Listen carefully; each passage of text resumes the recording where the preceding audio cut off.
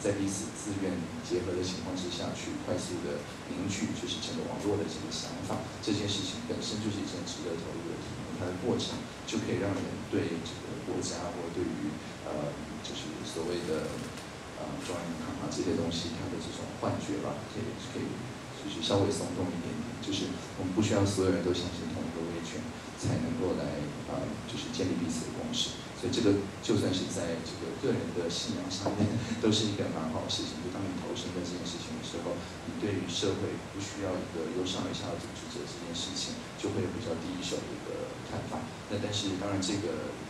行动什么时候才能够变成社会的一部分，这个很难讲。那这就是为什么我们有所谓的金融创新实验条例，简称金融沙盒的原因，就是因为任何时候只要你有一个新的想法，然后目前法规当中的路。不需要说服立委，不需要说服政委，你只要说我接下来六个月到一年，我就是要实验这种新的金融的创新机制。那只要他有机会对社会是一件好事，那我们就会让他进入这个实验。那经过六个月或一年，如果整个社会都觉得是一件好事，那我们就因此调整法规。那如果他觉得这不是好事，那我们就感谢投资人和国家付了学费。那所以无论如何，就是这是一个让民间的创新能够带着法规成长的一个方法。那台湾是第一个商法国家。呃，里面引入这样子一个金融沙盒机制，那我们不会只停在金融沙盒，接下来无人载具的沙盒，各种各样沙盒大概都会出现。呃，像有些朋友们想问说，个人的性别认同啊，对于在工作上是否有影响，以及遇到困难呃，没有遇到什么困难，大家都已经非常习惯所谓谈风性别就，是非常呃简单的说明方法。然后。呃，工作上面其实我觉得蛮好，就是说，因为这样的关系，所以呃，大家都很愿意嗯看到说，因为我我自己是这样，就是纯粹讲生理上的话，呃，我在青春期的时候的保护筒，就是呃两个 biological sex 中间最主要那个荷尔蒙的浓度是相当于七十几岁的男性，所以就刚好在青春期的年轻人和女性的中间，所以本来就是嗯先天上面吧。大概就发展，不管是心智上面还是身体上面，本来就是有一点 intersex 的一个状况。那然后我自己后来又觉得说，哎，我没有体验过女性的青春期，所以我当然后来透过荷尔蒙转化疗法，那也体验了两三年，就是完整的一个女性青春期的一个心态上的转变以及感受上的转变。所以结果就是说，呃，我在听人讲话的时候，嗯，就是第一手的经验嘛，或者沟通的方法等等，大概都比较 range 比较快。像你唱歌的时候能够唱的 range 比较快，但最主要原因就是因为有比较呃丰富的一些第一手经验。那但是当然也不是说就刚好跟大家的一样，因为不可能有两个人是一样的，但至少就不会有很多预设的立场，好像觉得说哎你是一个新人，你要扮演什么性别角色？因为对我来讲本来就是每天都是呃一个完全不一样的一个情况，所以我想这个对工作是如果有影响的话，也是一个正面的影响，就大家比较不会呃。用心理角色来框定我，那相反的，呃，大家在这样子的会谈或者这样子的咨询会议的时候，也比较不会觉得，哎，好像他一定要去做一个性别上的整理，大家可以去 focus 在这些公共利益的讨论上。呃，有有十二位朋友想要知道说，呃，两任院长跟我他们称什么？其实我我在，呃，其实我是二零一四年年就开始跟新疆合作，那当时是跟蔡永正的。那他有点啊，我我有点像是他的就是数位技术部门嘛。那现在是有点反过来的这样一种角色。那呃，我所以当时是我记得我刚跟行政院院本部合作是毛志国院长刚刚上的时候，那他提出所谓的呃所谓开放政府嘛，然后提出所谓群众外包，就是群众智慧作为新的政策的方向。那当然后来就是张善政院长在交接期的时候。提出了所谓透明式交接嘛，就是他让每一个部会都把他的这个资料直接放到网际网络上，让任何人都可以看。包括我当时不知道我会录的，我也可以看。然后让新的政府的团队能够交接。据说他本来还要直播的，但后来没有怎么直播。但是 in any case，就是说，我想呃，然后林俊院长其实因为他本身完全没有档案，所以他才有可能去跟就是什么院长去 arrange 这样一种完全透明的这样一种交接。这个在亚洲或甚至世界政治史上都不是很常见的一个情况。那当然就是呃，赖清德院长当时他在竞选连任台南市长的时候，呃，公开透明开放政府本来就是他的政见，他还专门在报纸上写了开放政府的论述。所以我觉得我很幸运，就是说我现在在做这一套，大概历任的最近的这四个院长，都是他们在他们不管是担任市长或者担任呃就是市政府或者呃部会里面的成员，或者是在民间的时候，就已经很认同一个理念。所以我推这些东西，呃，在政治意志上一直都没有受到任何阻力。最主要原因就是因为这这几位院长大概都很认同这件事情的价值。他们 concern 的只是说，呃，我会不会跑得很快？呃，这个资深的公务员会不会跟不上？啊，那所以我跟他们讲的都是说我其实是公平的公务，是他们碰到事情呢需要帮忙的来找我，而不是说没事找事做，然后我去找他麻烦啊。所以因为是这样子的关系，所以我我觉得至少以我自己的工作上面，我觉得这四位院长都非常的呃听我，然后也其实不是听我，是听大家一起讨论的这样子的概念。那我觉得是蛮好。那但是反过来讲，就是说，当然大家对这四位院长一定有很多不满的地方，但这些不满的地方跟我目前直接的这些社会创新开发程度的工作比较没有太多的关系，所以除非你讲特定的实例，不管的话，我就很难去做他们这。但是以我的业务跟这四位院长呃合作的时候，我他们都相当的称职。请问我对于宜兰科技园区的看法，为何发展不起来，以及有什么解救的一些方法？嗯，我我很诚实的跟大家说，我是第一次看到宜兰“科技园区”这个字，我我之前没有接触这这类的字，所以呃，第一个我没有看法，我没有办法对我第一次看到的东西提出一个我们还是 Google 一下吧，到底是不是一个科技园区？啊，是粤云科路十五号的一个工业区，OK。好，那，感谢这位朋友的的提醒，我会我会再多了解一下。但是这真的是我第一次听到这个词，所以我没有办法做一个具体的回答。嗯，我想严格来讲，就是说所谓的园区，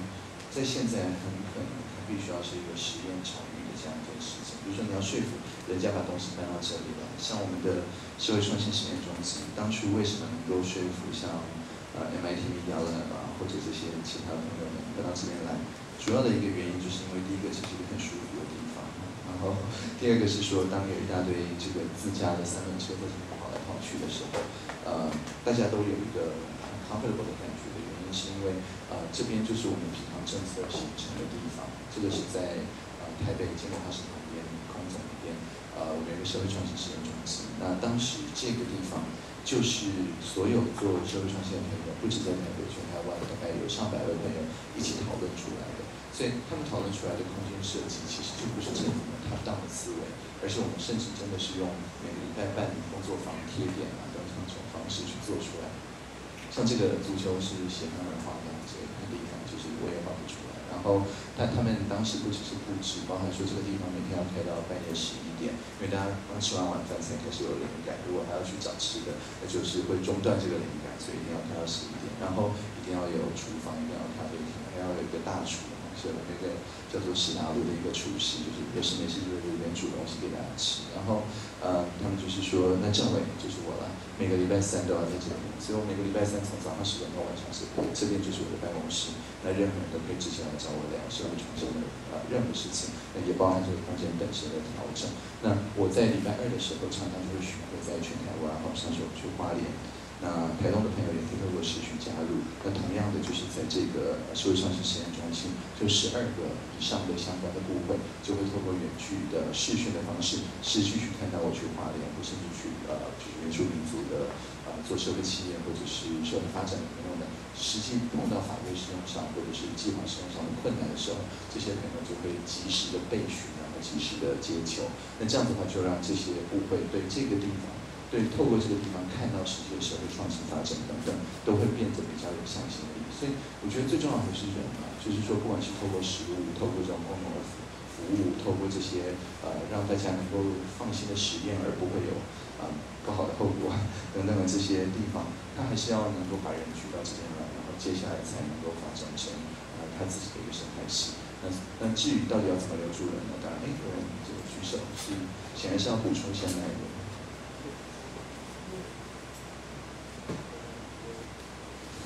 因为这个问题是我问的，就是问，就是对宜兰科技园区蛮好奇，那是新竹科技园区来这边附设的一个一个园区这样子。那目前只有七家厂商。对，那所以我我其实蛮想问说，诶，就是这样的科技园区应该是由县政府来去主导，像他刚才政府说的那个呃社会创新的这个这个园区这样的状况，然后去创造这样子的一个园区，然后让大家进。那另外一个问题是，因为宜兰科技园区是在一个交通不方便的地方，你觉得这会有很大的影响吗？就是对于这个部分，当然会，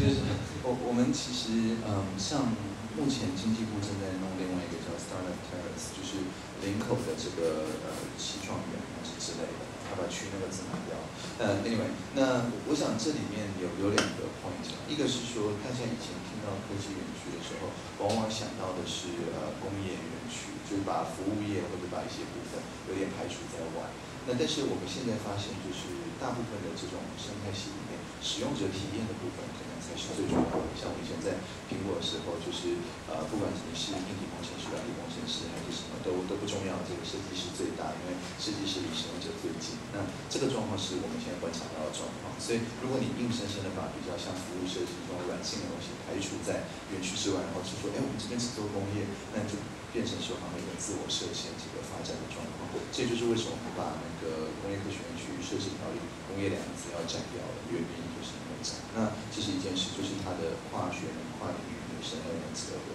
那第二个就是你刚刚提到的，就是交通。所以当时在规划林口的时候，我们特别把那种自驾车自动接驳放进去，就是因为如如果你还要花时间想停车啊、花时间想这些东西的话，那那说真的为什么要到这边？那所以另外一个就是他把住宿也规划在里面，特别去邀一些国外的新创团队等等，让他直接住在那个学生村，所以他至少搭电梯就不通勤，他有人在旁边找地方住，所以这些其实看起来非常前沿的这样组织，可是这个就是影响你上班的时候的心情。那你上班的时候心情不好，那创新根本就是白谈。所以我想这个都是最重要的事情，就你如何让人跟人之间还有一个社会的连带的呃，就是向心力。那同时他自己要发挥创意的时候，他自己心情太差。那这个部分就包含食衣住行娱乐，大概都要处理到。所以确实是这样。但是因为我我真的没有看过宜安科技园区的部分，所以我现在当然没有办法主动的来处理。所以以上都是非常我们的优势的这种回答。呃，有朋友说网络上面有看说活用 ORID 的文章，可以简单介绍说明一下如何应用。因为昨天才学过教练讨论法啊。那教练讨论法其实它本来在加拿大发展的时候，它是一个面对面，是一个呃在讨论的过程里面去把每个人讲出来的话引导到一个适当的架构里面，而让大家能够先看到哪些是客观的事实，然后哪些是个人的感受。透过这两个分层之后，慢慢的再凝聚出，哎，最好的想法就是解决最多的人的共同感受。那所以，呃，其实我我用 OID 的这个方式，并没有什么特殊之处。我想最大的差别只是说，我把它放在就是网络上面，透过主要是文字跟图片的沟通，然后在非同步的情况下去应用。但它的应用方法跟刚刚大家讲的面对面。呃，就是刚学的那套方法，其实并没有太大的差别。那最大的差别其实是透过网络的时候，R 的这个部分是很难去充分传达的。就是你可能看到他用一大堆景象，好用一大堆表情符号，用一大堆 emoji，但是他还是没有办法准确的传递这种非语言的讯息。因为我们在面对面讨论的时候，其实很多是看呃你眼神在看哪里，你的手势、你的语调等等这些东西，来去让旁边的人感受到你的共同感受，而不是只是他讲出这个我好兴奋啊，今天，这几个字哈，这 这几个字基本上它虽然能够就是让大家有对感受一个初步轮廓，但是这里面 personal 部分就是它是又透过什么样独特的生命经验，其实是非常非常难去做的。那你如果看了之后自己加上很多强烈的感受的话，那个就叫做脑补。脑脑补虽然大补，脑补最补，但是透过网络补的大概就都是错的。所以就是说，就是个人的投射。所以其实 OID 法在网络上面去做的时候，R 的部分的处理没有办法像面对面这样子的细致。我最多就是圈出这一块，说啊，了解这是你的感受，尊重你的感受，然后然后就往下了。因为我除了尊重他的感受之外，我没有办法很细的知道他讲这个时候到底是什么状况。那如果有人质疑，就是说，哎，我我讲的感受不是我自己的感受的话，啊，像现在透过 Facebook。我之前有有有一招啊，就是说，呃，大家知道我是招拍手嘛，就是在 Facebook 上面提到我的名字，有事没事，我只要觉得我有贡献的地方，就会出现这样。那出现之后呢，就会有人开始说啊，没有，这一定是机器人啊，这一定是网军啊，这一定是什么之类的哈。就总之就是试着在网络上面，因为网络上像 Slido 这种。你没有办法彼此回复，没有 reply 的这个按钮的时候，其实大家都很文明。因为你如果看到一个问题，你不想问，你就把别的推上来就好了。但是呢，像 Facebook 那种能够 reply 的地方呢，只要想要掌握风向的人，他最快的方法并不是提出一个更好的意见，而是去摧毁某一楼的可信度。这个就是他的就是单位时间投资会报酬率比较高。那在这种逆风的这种有有 reply button 的这种平台上面，那很很容易就会哎我就会然后底下就说哎这个是机器人是什么东西？那这个时候我就会呃。按回复，然后马上按录影键嘛，然后就很快的录大概五秒钟的短片，然后让大家充分能够看到解析度越高越好，能够看到我的目前的就是感受跟这个状态。那所以就是有点像表情包，但是但是这里面很重要的跟表情包不同的一点就是我会 quote 它，就是它不管是质疑我什么，我会挑里面有建设性的那些部分，就是大家学到 facilitation，就是能够带到。比较有建设性的 interpretation 的诠释的部分，示范我做一次诠释的这个动作，然后透过短片的录影让大家能够看到。那因为我是 quote 他，所以基本上我不可能是预录的，我一定是看到他留言之后才录。那而且又 quote 里面唯一能够做建设性的那个部分，所以他就会学到说，能够获得我的注意力的，他可能留了一百个字，九十个字都是在骂人，但是有十个字是有建设性的诠释的可能性，那他就会发现说，哎，只有。有件事情的意见才能够获得具体的回应，因为在网络上面常常需要跟请注意的朋友，他可能是就现实生活中就是人际关系有一些困难啊，或者是说这个 空虚寂寞啊，觉得冷啊，那所以他就想要在网络上面透过惊叹号来获得一些这个关注啊，获得一些注意力。但是这些其实是填不饱的，因为他常常用它维持长时间的关系，所以隔天醒来又还是觉得很空虚，然后又要去乱弄个板这样子。那所以这个过程里面，我们只要示范说，只有有建设性的部分才能够获得他所渴求的注意力。那这样子，这些来乱的朋友就会慢慢慢慢 reform，慢慢变成说，哦，原来我要用建设性的方法才能获得注意力，不然你根本没有办法干扰到其他人的讨论或者心情。那像维基百科社群这方面，就是有非常多的干扰，就是在做这件事。但是也跟大家讲，就是说，你即使花了一方面再好，可能。只有一半来乱的朋友会因此受到感悟，然后就变成这个有有建设性了。很多就是决定说，好，那这个地方很难乱，我就去别的地方乱。不过这样也不错，就是至少你觉得特别来乱的朋友就会特别找你麻烦。但是治本之道呢，还是经营自己的空间。像我们呃经营的 Slide 这种空间，众人平台，其实在我们每一个提案的呃就是下方也是有讨论的空间。可是我们就会把它营造成你没有办法去按呃回复。所以，像我们在行政院的联署的平台里面，我们哇，十六岁可以投去参加。呃，好，这个是零个人福利以后，我们是不是找一些比较多人福利的东西？呃，推动权责部，大家一起来。废除军公教人员数位学习计划，这个是已经废除，这个大家有印象。好，总之这个不管是哪一件事情啊。它在底下都会有具体的，就是呃正方跟反方，或者说正方跟其他想法方面可以留言的部分。那所以这个部分呢，其实我觉得很有意思的就是说，呃，大家可以看到我们的讨论区设置，就是就算冲票数是七十三，这个霸也不会跑到右边去，所以它不会有一种没有管道。那它的两栏都是像是 slide，就是说你抛出一个意见的时候，你是靠别人把你推上来。但是你如果看到左边的意见是你不同意的，你唯一解决它的方法没有办法破坏掉他的可信度，你只能在隔壁去留一个更好的意见，然后等别人把你推上来。所以这种没有办法 reply 的这样子一种状况，从我们的角度来看，就是说它可以把大家的力量变成比较像拼图一样的。而不是像拔河一样的力量。那在这里面有非常多细节了，包含那个是圆角而不是方角啊，等等这些东西都都是非常用心的设计才能够做出来的一些空间。那这些空间里面，大家就会很自然的被那被倾推到呃能够就是比较呃就是 construct 比较有建设性的方向，而不是比较有破坏性的一些方向。大概这样。所以当透过网络的时候，我的具体建议就是说，你可以呃 be authentic，就是拿你自己的真实感受透过短片或者什么东西揭露出来，但是不要急着去脑补或者是去 judge 对方的感受。你透过网络本来就非常难传达这种感受，那所以这个时候你可能是把爱的部分就是呃理解置入于方框，然后把里面真的可以用的 constructive 部分往爱的方向这样子去带。那这个是在网络上面的这些操作的一些。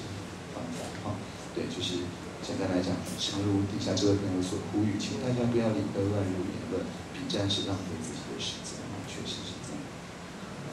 呃，好，嗯，十呃十七位朋友们想要知道说，呃，作为一个安纳奇，如何看待福利国家政府征收税收给穷人？如何期待人先不自私自利？那是否支持废除死刑？毕竟国家没有执行死刑的正当性。其实应该这样讲，就是说，安纳奇他，嗯，就是说你要达成安纳奇，像我是持守的安纳奇。什么是持守呢？是所以 conservative 的意思就是不否定社会目前走到现在的这一段历史。那这个意思就是说，我们在资讯科学上的概念叫做 fork。fork 就是说，你看到一个东西就是往前面发展，然后呢，你想要把它就是转个弯，分个叉，往不同的方向发展。但是呢，你不是。牺牲掉，所以会把它破坏掉它本来发展的脉络，你只是往一个不同的方向去带。那当然，不同方向带，只要你是去公开开放的做，那大家看到，包含公部门看到，觉得哎不错，党部就加入，那这样子的话就会守则，不是就会把你的这个做法变成这个公部门的常规的做法。像刚提到总统那些特首，其实是没有奖金的，他们唯一的奖赏就是那五队，就是我们会尽一切的力量动用总统。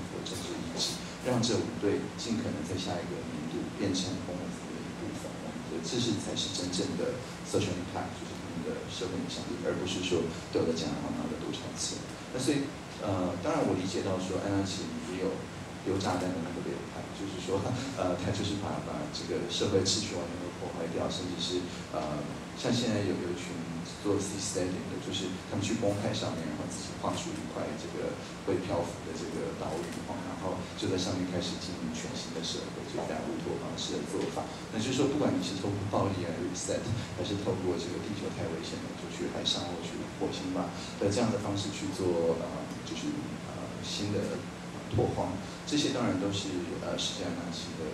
有有效的方法啦。但是对我来讲，这并不是我我喜欢的方法，因为我喜欢的是说。我们现有的状况，在不磨灭它、不否定它的情况下，让大家都能够自愿的去看到，说哦，有一些新的做法对大家都好。那这样子的话，从我角度来看，才能够在社会的演进的过程里面，去跟别的社会说，你看，你透过一些和平和转移的方法，你也可以到一个比较好的境界。你不需要透过就是呃非常暴力的方法，你也可以到这样子一个情况。那这其实是台湾民主化的一个非常可贵的一件事情。所以，就首先，我不会期待人性不自私自利，这是一个不切实际的一个期待。那，但是，同一个人性，就是他的这个自私自利的这个 motivation，是可以去做额外的这个运用的。呃，我我这边就举一个很实际的例子，就是我们在做社会创新的时候，常常举的一个例子。不是这个，但是好吧，这个其实也不错。就是 我们刚刚不是说，呃，把就是想要赚钱的力量，想要大家更充分讨论的民主化的力量，啊，大家想要照顾彼此的生活，彼此之间社会连带更紧密的力量，想要照顾这个地球，这个不要那么人类重心主义的这个力量啊，就是同一个人心里面有非常非常多的方面。那当然，大家很多时候呃投入的比重不一样，但是当我们呃，找出一些社会创新的呃 embodiments，就是让它能够在社会上生根发芽的组织方法的时候，其实你可以同时结合这些力量，然后一起去做事。好比像说，如果要加入主妇联盟生活小组合作社，其实这些都已经存在二十年以上了。其实一开始也许真的是为了交朋友，但是也有人是因为他可以用比较低廉的价格取得安全的蔬蔬菜或者水果或食物，也就是说。呃，你不一定要认认识，或者是甚至是支持喜欢而已，只是单纯的觉得他的饼干很好吃，你也可以去跟他做生意。那同样道理，在里面其实有很多做经营管理的，或甚至是专业的行销等等的朋友，那他们加入这些 social enterprise，也不是一开始可能也不是为了利他的使命，而是觉得说，哎，这个东西很好卖，样子，这是一个很棒的 branding。其实就连“显爱”三个字都已经是社会创创新，因为以前是叫做智障，或者是叫做什么别的，但是现在就是说，当你转换成这三个字之后，哎，忽然之间对他们的创造力的可能性就增加了。所以我这边要讲的是说，我们每次做社会创新的发展的时候，我们做的就是很有系统性的去看社会上的一些所谓的弱势的朋友，但是不是说我们大家觉得很可怜，一定要帮他忙，而是说大家在。重新翻转社会对他想象的过程里面，有没有什么自私自利也可以获得满足的这些部分？就是说，有没有什么跟现有的资本主义市场机制可以借鉴的部分？像这个就是天赋城市嘛，就是当时帮他们做这个规划的一个叫点点善的社会企业，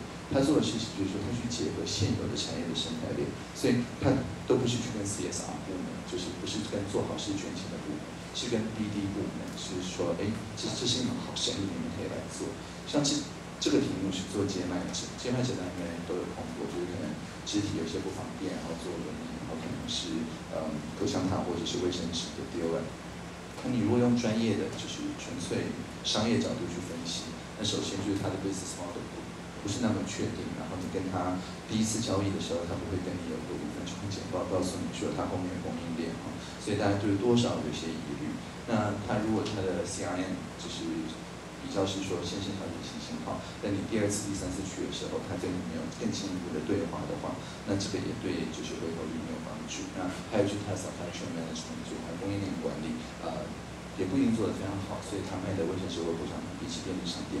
也没有比较便宜。所以在这些系统分析底下，是完全透过资本主义的角度去看接卖的这个行为，那你就会发现说，诶，你不需要是都是做好事的 NPO。你也不需要都是做好事的企业，它完全以 business development 的角度，它可以重新去 pitch，呃，接卖这这件事情。好比像说，透过适当的生活照顾跟职能训练，他就可以担任解说的工作。他把这个轮椅改成一个很酷的 mobile station，然后有一个很大的荧幕，还可以折起来当雨遮哈，他就可以比举牌人要更有效的去发扬一些这个呃，就是想要传递的讯息。它是一个很好的 advertisement station。然后，好比像说，如果有城市要做公平贸易的话，那它上面放的其实是可以是公平贸易的茶、咖啡啊这些东西，呃，不但有高附加价值，而且可以变成城市宣传或做大型活动的一部分。那我觉得像这种社会设计的一个特色，就是说，当它只是一个 concept，第一台车子刚刚做出来的时候，它就会透过群众募资的方式，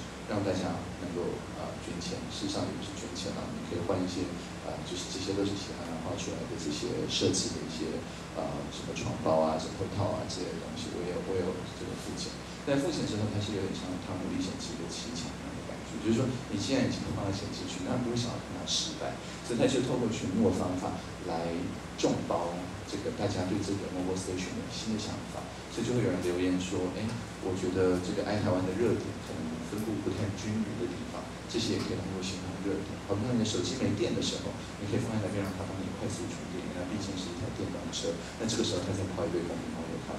朋友咖啡给你，说不定就会很愿意听他故事。那第三个是，也许下一个时候这边可以放一些爱心的雨伞，可以变成社区的爱心雨伞的转转运站等等。就是说，透过这样子的呃群目，它达到了众包的目的。然后大家看这些台车的时候，看起来就不是说啊这个有人行动不方便，好可怜，没有援助，而是一些所谓自私自利的一些企业会说说，哎，这个是一个新的。Mobile Station，它是一个新的呃客户关系的一个 endpoint。那我们怎么样去经营它？我们怎么样跟它有新的供应链上面的呃商务拓展上面的一些关系？所以它等于是转换让这些所谓的自私的这样子一种资本主义的力量，让它变成能够去解决实际的社会问题的这样一种创新的一种概念。所以我想这个是我们不会说期待人性不自私自利，我们反而是说。我们期待人性里面自私自利的部分，跟在意公平正义的部分，跟在意环境的问题的解决的部分，这些部分能不能够凑起来做点什么事情？我想这个是比较合理的一些期待哈。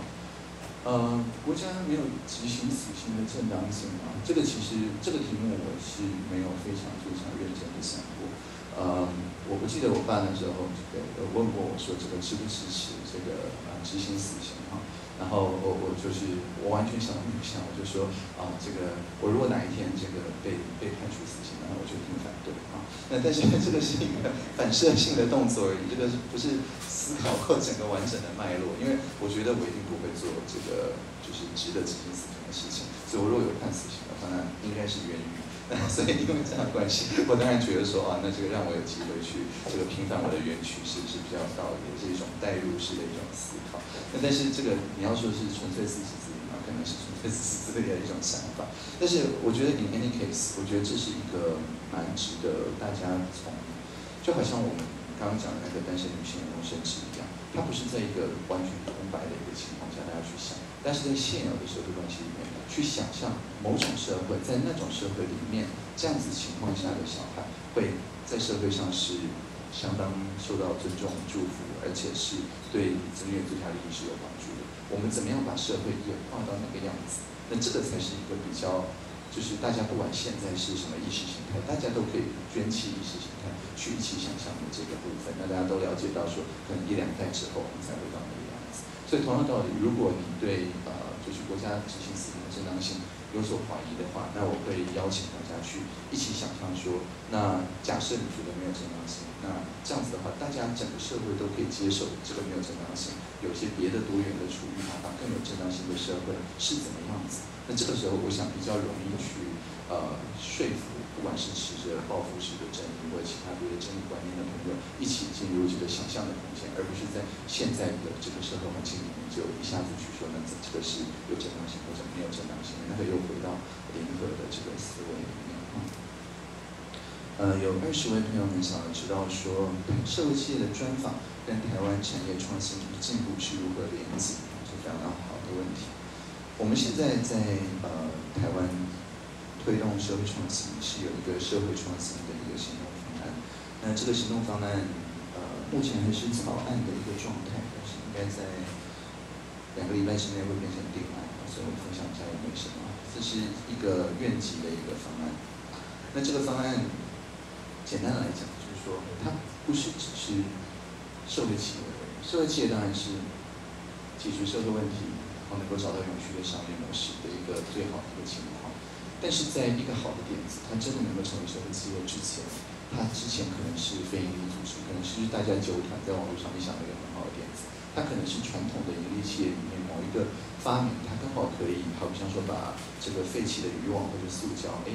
转过来变成衣服，甚至变成回来变成柴油哈，那这个东西它可能本来只是要赚钱，但是它碰巧可以解决一些社会问题。那我们以前在做社会企业推动方案的时候，是比较聚焦在这个组织形式上。那但是呢，我们现在在社会创新方面，我们并不那么拘泥于组织，因为我们发现说，呃，社团法人他可能会设一个子公司，一家大的公司他可能也设一个 NPO，所以我的意思说，这个 hybrid organization 就是多元的组织形态，是为这个社会目的而服务的，不是说这个社会目的反而来为这个组织形态服务。这就是为什么我们在社会创新的这个登记平台，就是 S 一点 P 点 TW 上面，你就会看到包含合作社，包含。呃，财团法人、社团法人，呃，各种公司、闭锁型股份有限公司，呃，一般的有限公司等等，都会在上面登录。因为我们要求的只是说，他能够讲得清楚，在永续发展目标里面，他们在解决哪一个问题，哪一个社会或甚至全世界共同的问题，他们透过怎么样子的产品或服务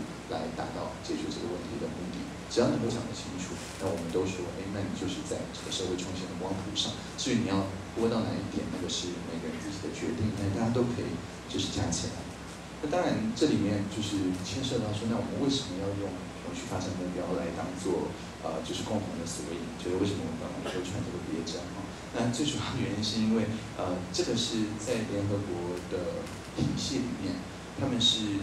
第一次不是靠各个国家的代表，而是靠所有在处理这些呃实际的社会的演进的这些团体，呃。一起讨论，大概他们征询了大概一百多万人哈，里面他们去找到这些 major group，就是这些实际受利害关系影响的人。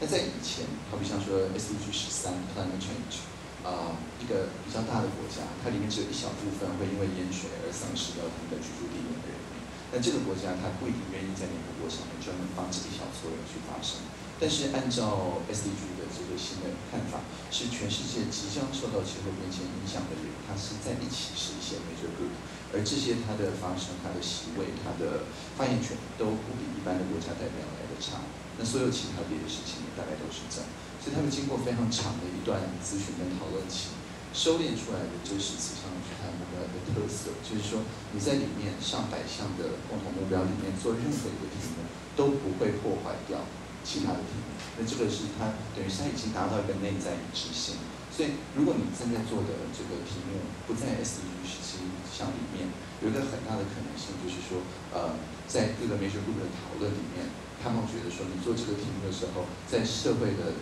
某些角落、世界的某些地方，它可能会反而呃影响到负面的影响到其他的 SDG 的目标。所以这个是有点像是删去法，大家把可能会造成。冲突、矛盾、纠纷，大家都已经删掉了，然后留下来的就是你怎么做，大概都不会做，都是为彼此加强的一些共同的目标。所以这些东西在在我们呃就是社会创新的这个方案里面，为什么特别强调 SDG？就是说，我们只要扣合了这些 SDG 的这些永续发展目标，我们在引入国外的所谓影响力投资，或者引入就是国际上面的各种第三部门跟四部门的力量的时候，我们就有一个很好用的一个索引，等于是全世界正在解决类似问题的，忽然之间都变成我们的朋友，而且如果有某些这个相关的政权想要打压的话，这个是最难打压的一个题目，因为全世界人都都想要这这件事情发生，所以我们在这件事情。做贡献的时候，目前为止是最最不容易被打压的一个情况。那所以我们在里面基本上就是政府的角色，很简单一句话讲，就是帮助解决社会问题的朋友解决大家的问题。那我们在这个过程里面，就是不断的透过呃公民科技，透过各种各样开放的一种方法，让大家知道说彼此到底在做什么事情。因为时间的关系，我当然没有办法把这整个方案的架构很快速的呃讲完。那我我这边要强调，就是说中间的这四个跟本来的社会企业行动方案并没有太大的差异。但是我们现在有相当多的资源是放在最左边，那个是新的，就是透过大学社会责任，然后以及透过很多新的比较是价值培育，包含我们新课纲里面的校定必修啊、校定选修啊的这些课程，让永续发展这个概念在一开始就让大家觉得说，哦，我做这个题目，那全世界都是我的朋友的这种想法能够啊生根。那反过来讲，就是外交部也是第一次加入这个计划，就是说，当我们真的有一些创新，不只解决台湾社会问题，它也解决呃国际的社会问题的时候，像刚刚讲的抢救水宝宝，他们现在就派了组员去纽西兰，然后继续待三个月，因为气候变迁的关系，纽西兰以前都不缺水的，但现在开始缺水了，所以他们就需要这个侦测漏水这样一个技术。所以我们不是解决自己的问题而已，而是透过这些 SDG 作为索引，然后就可以去。全世界送暖啊，就是所谓的暖实力。那这个就是外交部第一次加入我们这样子一个计划。所以我想最基本的想法就是说，我们的法规调试并不是由上而下的说，好像我们就一定要重点发展哪些东西。所谓的社会创新是说，我们尽可能不要挡大家的路。大家在做的过程里面，因为每一个部会，我们三十二个部会，可以说三十一个都是 NPO 都是 想要达成某个社会的公益目标，不是为了赚钱，只有中央银行是要赚钱的。那其他的大概都是呃要在某一年他的施政方针里面看到一些东西发生，所以我们透过这样子的方案，就是在告诉大家说，其实很多时候民间的力量比政府更了解实际的情况。我们一年才能转一次方向。但是新的社会的情况的发展，每天都在改变，所以大家不要把它看作一件是厂商，或者一件是就是所谓的这个只能跟私共为主，而是整个公民社会，当他发现一个新的状况，他就是需要法律调试的时候，那因为他在解决社会问题，跟相关的地方或中央的部会在解决问题是一样的，所以这个就不是所谓土地厂商，而是说去反映实际的社会需求，然后去做必要的法律调试。所以这个从国发会角度来看，这是一种新的管考。原则就是大家的新的 KPI 是因为实际的社会需要，所以我们松绑了哪些法规，把哪些还是废除这些东西。所以从他们角度来看，就是尽量不要挡到社会的创新的一些力量。那这个就是目前就是市场方面的具体的一些想法。那呃，有位朋友想追问说，这个我是不是机器人？我我目前还不是机器人，然后有一天可能会是。那然后还有就是为什么每个问题都有图片可以解说啊？也也有朋友这个问过说，为什么我每个东西都有个缩网址？就像我刚提到开放政府联络人 PO，其实有个 PO 点 PDS 点 TW，或像刚刚提到电竞，其实是有 eSport 点 PDS 点 TW，就是等于是每件事情，像刚刚有人问到这个谣言嘛，就是有 rumor 点 PDS 点 TW。那为什么这样？就是因为呃，我我经常做这样子的询问演讲，那每次我回答不出来的问题，像好像说刚刚讲到的科技园区。那我回去就会做一些功课，因为反正都有录音，我可以回去重新播放。然后呢，我如果整理出一些想法的话，我就会弄一个新的网址出来。然后这个网址就变，我下次在呃听到类似的问题的时候，就可以给出回答。所以这并不是因为我是机器人，而是因为呃这是群众智慧加上机器智慧的最好的一个呃状况，就是说我是靠大家的问题来知道现在大家关心什么。那但是我当然不可能都有答案，但是我可以回去问各部门的朋友。那当他们给出答案的时候，我就会给他一个锁网址，然后下次大家在问类类似的题目的时候，我就可以拿这个锁网址出来跟大家所以可以把我看成是一个会走路的问答机。但是呃，不表示说是机器人，就是后面有一个蛮不错的辅助决策的一个系统而已。嗯，我们表定是到几点？我们知道。十五分。十五分，所以我们还有十五分钟哈。嗯，有十八位朋友们说，请问我对申奥电厂的看法？前天林信义资政说要盖，昨天张长全院长说绝对不行。请问我认为呢，可以说说我对空屋议题的看法吗？嗯。我有一个图片，什么都有。OK，好，嗯，OK，完全是哆啦 A 梦的。好，嗯，我我对空屋的看法是这样子的，就是说，空屋它其实是有有两个层面，一个是客观的数据，就是二点五度啊这些东西，但第二个是主观的感受，就是说，我觉得呃，我小时候空气没有那么不好，那现在空气变不好。这个是一个一般性的感受，这个感受的传染力远大于这个数据。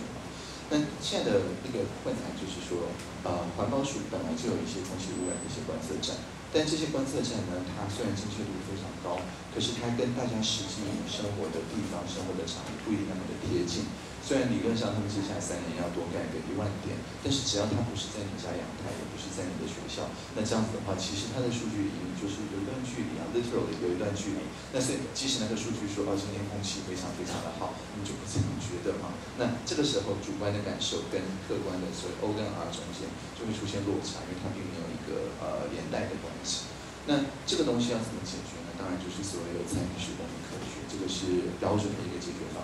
那在台湾这些发展还特别蓬勃，这边的这些数字没有一个是政府呃收集的，这个完全是民间自己呃透过一个叫做 Airbox 啊的一些硬体跟 LAS 的这个计划，视觉化是叫做 G 零 B 零是空污观测网的这个地方，让大家能够一次看到这些测站。那甚至有一些地方县市是把这个当做环境教育的教材哈。那这个意思就是说，它实际上装的地方就是每个人的家里，就是每个学校。虽然它的精确度实在不能够跟环保署的比，但是全部加在一起，你就会看到啊一些就是跟大家的感受比较切合的实际的这些呃数字。而且呢，这个社群非常的有创意，好比说他们就跟 IOTA 讲到那个不是区块链的分散式账本来合作，所以他们会定期 snapshot 这边的数字，然后往这个分散式账本上面丢。这样子的话，大家就会有更有公信力，因为大家就不会觉得说，哦，你要当选举选前，然后你赶快回溯去修改某些特定地方的数据，你就可以操作让某人当选啊。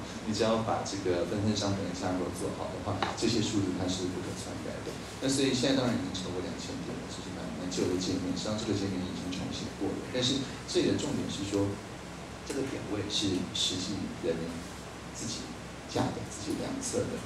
那在绝大部分亚洲国家，我们在国际上分享这样子的东西的时候，他们都说不用等到两千个点，大概二十个点的时候就会被请去喝茶嘛。大概两百个点就会查水表了，就是他们会用尽一切方法，包含把他的这个组织的人想办法挖进政府来。然后怎么样，尽可能的不要让公民的这个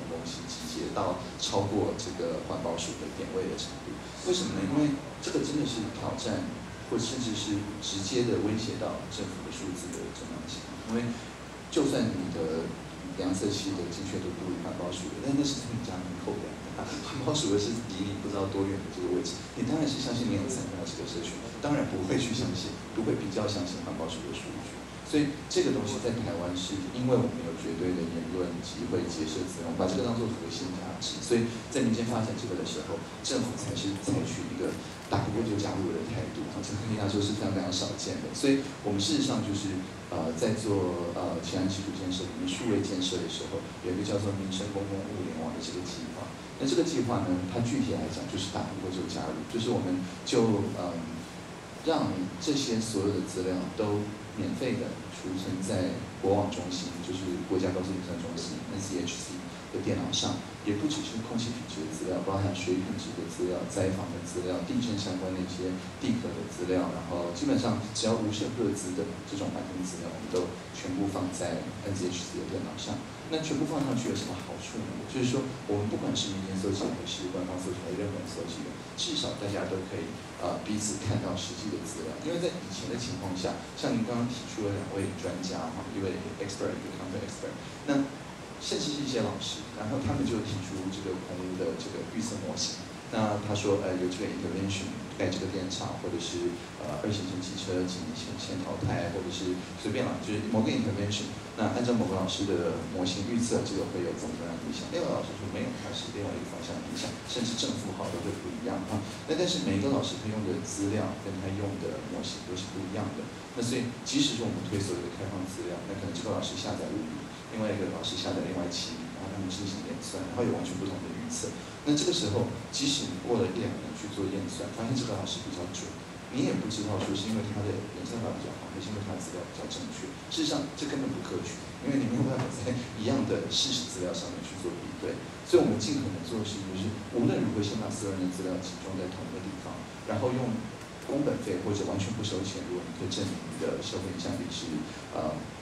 就是比较正面的的话，其实你是愿意啊公开你的研究成果等等的话，那我们就让你直接去使用买的那么一大堆 GPU 的这个呃加速卡，用不管是机器学习还是什么新的统计方法，去找出人的活动、预期政策跟实际的关系中间的相关性。那这样子的话，当然不同的老师还是会呃评估出不同的移动式、非移动式跟境外污染源的模型。那 two-phase flow 本来就很难算，但是至少他用的资料是相同，而且这个资料里面是含有大家自己透过公民科学收集到的资料，而不只是好像只有政府的资料。所以就是说，先把资料全部集中在一起，然后这个东西是开放的，然后让任何人都可以呃用演算法在同样资料上面进行计算。这个时候 ORID 里面的 O 才真的出现，因为其实任何人都可以存取的验算的。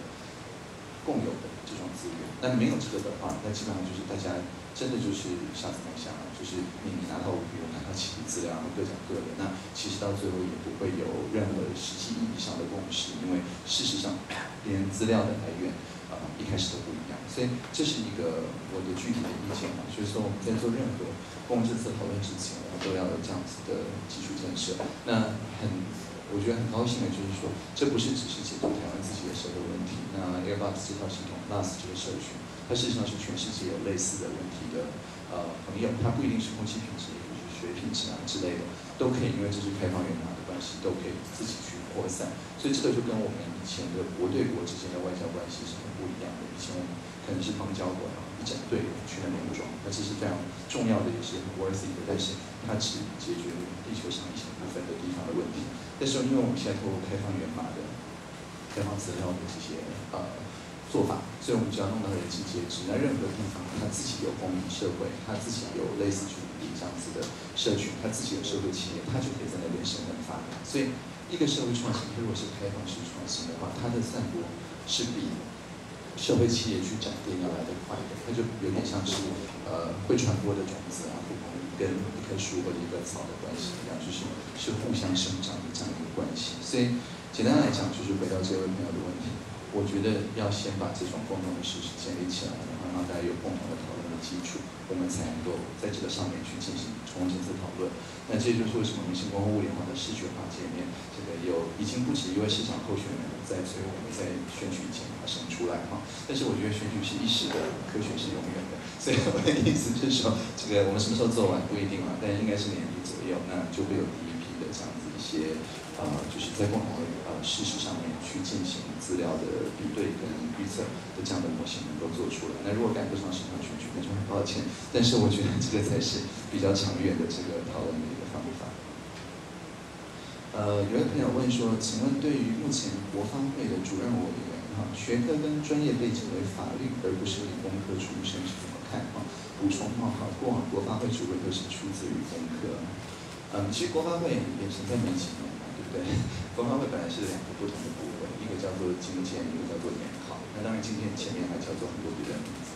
不去追溯。那经验会一般来讲是设定一个远程的，就是中长程以上的这个国家建设的一个计划，是领航的这个角色。那研考呢是在后面确保所有的部会都有被管考到，然后有这个每月或者每季都能够往这个部会设定的目标跟国家的这个建设的目标有如期如职的去规划公共政策的这样一个角色。那但是呢，在这两个幕僚机关合并成果发会之后，忽然之间他的呃角色就有所改变，因为嗯，他的两个分别机关分别做的时候。当你定定目标的时候，你不一定能够去呃 control 其他的部会一定要照你的方东东西去玩。那在研讨会的时候呢，他们也不一定能够呃去确保说每个部会都往相同方式走。但当它变成国发会的时候，它就变成一个。有五百多人的，既可以设定完成目标，又可以有这个预算控制权的的的这样子一个蛮厉害的一个部分，所以他的实质在行政院里面的角色就改变了。那何况他主委本身也是政委，也有调集各个不同的部分去进行协调的这个能力。那我们目前的主委，他同时也督导呃人事行政总处跟呃主席，所以意思就是说，所有的主要的就是人主跟预算跟这个呃规划好的，所有的这些目前是呃都是由陈主委来做规划。那所以在这里面，我想这次的这个 generation 的国发会跟大家之前习惯的金建会研讨会有一个非常大的不同，就是它跟人民的距离是变成各部会里面最近的。以前研讨会、经验会的时候，基本上他服务的对象是其他的部会，它是一个全幕僚机关，人民不会自己跑去经验会或者是去研讨会聊天，除非你是欧洲商会或美国商会的工作者。那所以在这个情况下，但是因为有了网络，所以透过开放资料平台，透过公共政策网络参与平台，就是 Data 跟 Join 这两个大的平台，还有一大堆小的平台，包含法规调试平台、平台经济的这个呃新创法规调试平台，包含刚挂牌的那个。各自专案公司，它会有非常非常多，就是你只要有一个想法，觉得现有的法规命令打到你了，你就可以跑去用各种方法让国发会知道，然后国发会就会为你伸张正义，然后让现有的行政程序不要挡到你，让创新变得有可能。那这个是以前进行联考的时候从来没有人想象过，他们这些目标机关可以做的事情。所以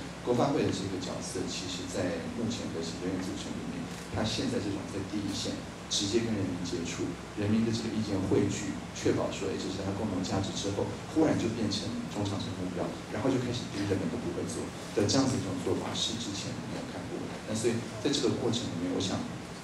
目前的呃，就是每主委他在法律方面，就是确保说我们这个松绑的过程，我们自己没有违法，我们还是在依法行政的这个前提下做，是蛮重要的。因为如果不是这样子的话，那就会变成是好像呃，就是。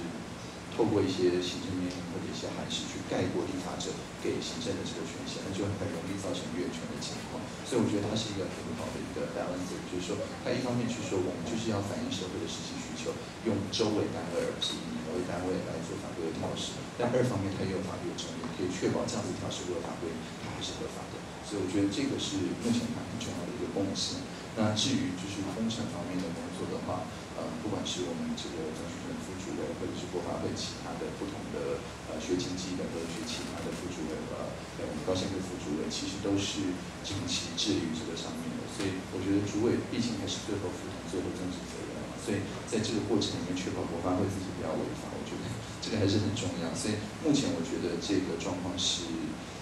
蛮新的一个状况，然后也让我们这种直接跟人民沟通这个平台后面有一个。呃，这个后盾。好，那最后一个问题哈，嗯，可不可以请我分析上一号科批支持率高、满意度低，呃，下一号的现象啊？嗯，不可以，因为为什么？因为一个是说我是新北市民，我是完全不关心台北市长选举。那相信各位在最近的一些新闻里面可以看出这个状况。那第二第二个是说，嗯，当初其实，嗯，就是我我在做这一套就是全民沟通啊这些东西的时候，确实有人问我说，那这样子的话，我如果现在是在一个政委的位置，而是在市政府立场市场的位置，这一套到底要怎么做？那我很坦白说，我还没有想出来，因为，嗯，就是